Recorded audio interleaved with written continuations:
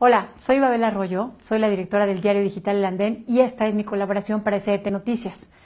Yo también estoy en contra del gasolinazo, pero déjenme decirles algo. El problema con el gasolinazo no es la reforma energética. ¿eh? Es más, si me apuran, ni siquiera se trata de Pemex, del petróleo o del precio del barril en el mundo. El gasolinazo es un atajo para mantener el tren de vida de un gobierno gordo, rico y malcriado al que se le está agotando la herencia y al que nosotros alimentamos. Miren, lo que hay son partidos gobernantes, todos algo gobiernan, todos, ¿eh? que en el fondo quieren lo mismo. Un Estado gordo, que gaste como si los recursos no se fueran a acabar nunca, que baje los precios del maíz, de la gasolina, de la leche o de la luz por decreto y luego, cuando se ve en apuros, pues lo suba a su antojo para tapar los agujeros. Hasta hace dos años pagábamos un precio de mentira al cargar el tanque. El gobierno nos consentía subsidiando la gasolina, es decir, pagando la diferencia, sin importar a quién beneficiaba. ¿Por qué? Pues porque podía fijar el precio y porque era rico y malcriado en una sociedad malcriada que estira la mano, denme, denme.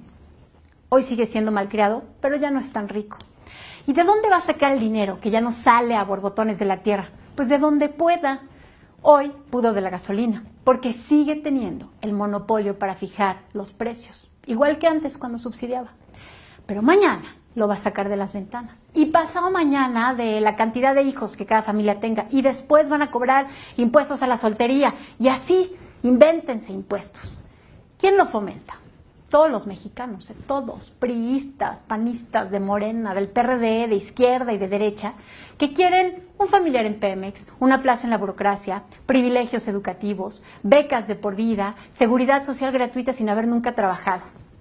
Los culpables son los mexicanos que siguen creyendo que la vida toda debe resolverse con dinero público y estirando la mano, como si no vieran todos los días que el dinero público se va a las casas de Duarte, al bolsillo de los consejeros del INE y del INAI, a los programas sociales clientelares de Miguel Ángel Mancera, a los tres, tres bonos que reciben al año todos los trabajadores y los ministros de la Suprema Corte, al gimnasio de lujo que tienen los diputados en San Lázaro, al bono que tienen los senadores para gastar en lo que quieran cada mes, a los proveedores amigos que cobran cinco veces más el precio de una carretera y luego reparten los billetes, a los rectores de las universidades públicas, a los viáticos sin límites de la clase política y a la bolsa de miles de millones de pesos que se reparten los partidos políticos y llegan hasta casas en Atlanta, como la de Ricardo Anaya, o a financiar los tours del candidato eterno Andrés Manuel López Obrador.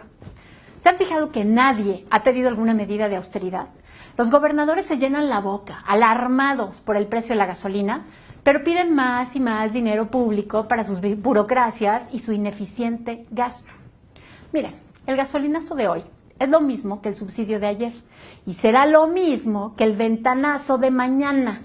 Es la muestra de que seguimos siendo una sociedad inmadura que pide un gobierno gordo que nos dé sin darnos cuenta de que principalmente nos quita.